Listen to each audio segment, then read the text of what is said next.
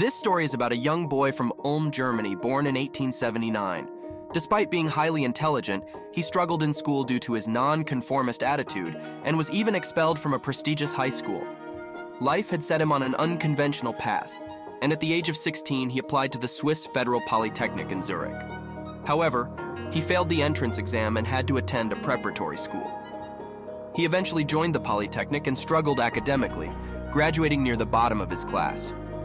After graduating, he was unable to find a teaching job due to his rebellious nature and had to settle for a position as a technical assistant in a patent office. It was here that he developed his revolutionary theories on physics and began publishing scientific papers. Despite his breakthroughs, he received little recognition from the scientific community. He was appointed as a professor at the University of Zurich and later at Charles University in Prague. In 1915, he published his theory of general relativity, which brought him worldwide fame. However, his theories were met with skepticism, and it wasn't until 1919 when British astronomers confirmed his predictions about the bending of light around the sun that he was finally acknowledged as a genius. Despite his success, he faced many challenges in his personal life, including a failed marriage and strained relationships with his children. In 1933, he fled Nazi Germany for the United States, where he took a position at Princeton University.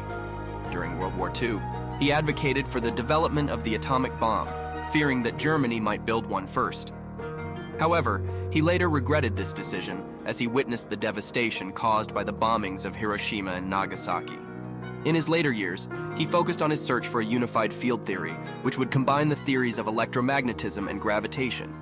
Despite his efforts, he never succeeded in this quest. He passed away in 1955, leaving behind a legacy that would forever change the world of physics. You see, in life, in your life when you're feeling disheartened by failures or setbacks, remember the story of Albert Einstein, an expelled student, struggled academically, rejected by the scientific community, faced challenges in his personal life, and yet became the most famous physicist of the 20th century. Einstein, the man who unlocked the secrets of the universe, was many things. But above all, he was a testament to success through perseverance, hard work, and dedication, regardless of the circumstances. This is Leaders of Tomorrow Stories. Thanks for listening, and may you find inspiration in the life of this remarkable scientist.